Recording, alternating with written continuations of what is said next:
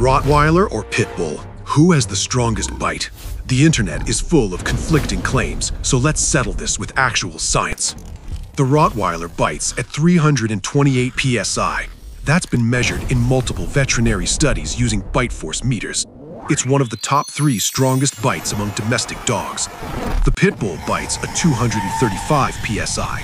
That number comes from a 2005 study, though it's controversial because the test conditions weren't standardized and the sample size was small. The difference? 93 psi. The Rottweiler bites 40% harder than a pit bull. That's not a small gap. That's the difference between fracturing a bone and crushing it completely. But here's where it gets complicated. Bite force isn't everything. The way a dog uses its bite matters as just as much as the raw pressure. Rottweilers have wide, blocky jaws with massive temporalis muscles. When they bite, the pressure distributes across their molars like a vice grip. They crush and hold. Their bite style is designed to immobilize large animals. They were bred to control bulls. Pit bulls have narrower jaws with incredible grip strength.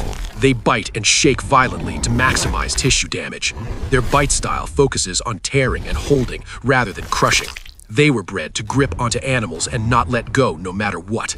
So in practical terms, a Rottweiler bite causes more structural damage, broken bones, crushed limbs, a pit bull bite causes more soft tissue damage, torn muscles, shredded flesh.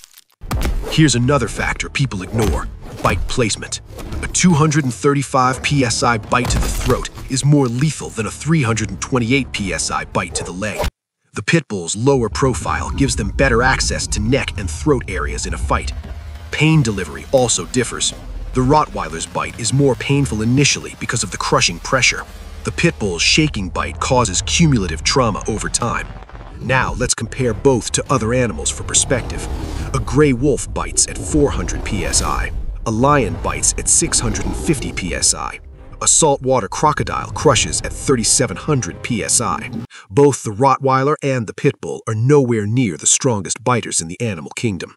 Among domestic dogs, the Rottweiler is in the top tier alongside Kangals at 743 psi and Cane Corsos at 700 psi.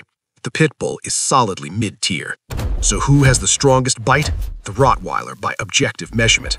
But the Pit Bull's bite is still dangerous and potentially more lethal depending on where and how it's delivered. This isn't about demonizing either breed. It's about understanding their capabilities so owners can train and manage them responsibly. Want to know which dog breed has the absolute strongest bite on Earth? Subscribe to What Happens If. We're revealing the top 10 tomorrow with jaw-dropping results.